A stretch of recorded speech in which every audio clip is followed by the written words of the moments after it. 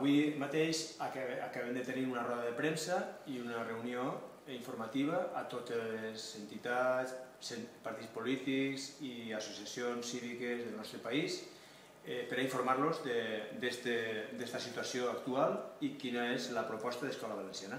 I anem a manejar fitxa, anem a moure ja a la ciutadania per a saludar al senyor conseller per a que entenga este govern que encara està en funcions, que el més gros de tot això és que educadament no estan tenint educació,